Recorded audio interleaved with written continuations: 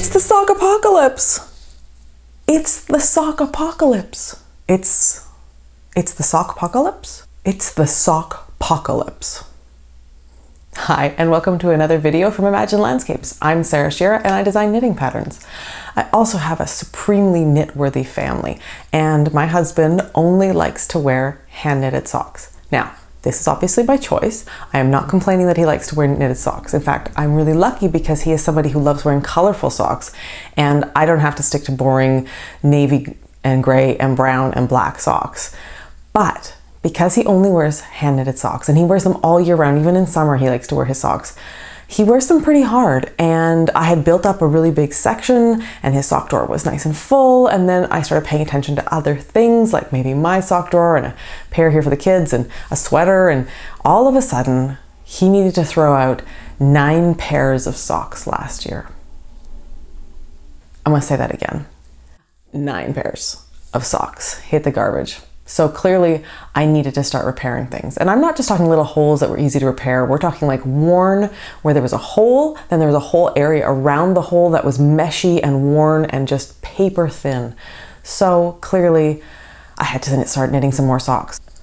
And I even called it Sock Apocalypse 1 and Sock Apocalypse 2 when I was knitting. So last year I knit this pair of socks this wonderful yarn. This is Biscotte and Cie. They are a Canadian hand dyer who does really amazing stripes where it starts dark and gets lighter and lighter and then darker and darker again. And I really am in love with that. So I knit this pair. This is Sock Apocalypse 1 and guess what we discovered this week? Yeah, another hole. So Sock Apocalypse has gone meta because the sock apocalypse socks are now starting to have their own sock apocalypse, which I don't even know what to say about. so I've cast on some more socks and um, I'm just gonna work on keeping him happily socked and his feet happily warm in freezing cold Manitoba winters, well, and summers and falls because he wears them all the time.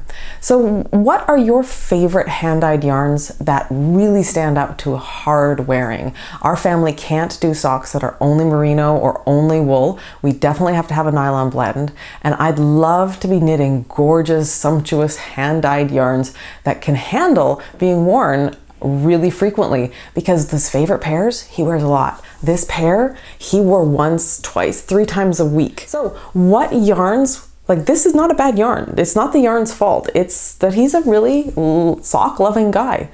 What yarns do you knit? And how do you cope with a sock apocalypse? How does anyone cope with a sock apocalypse?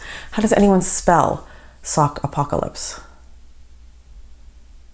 I don't know. Sock apocalypse.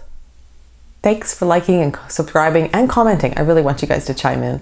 If you want to find out about me and the audio podcast I do with my sister, check out imaginedlandscapes.com. There's also links to the patterns I do. I have not yet designed a sock pattern, but that may change very soon. Thanks for watching. Happy knitting.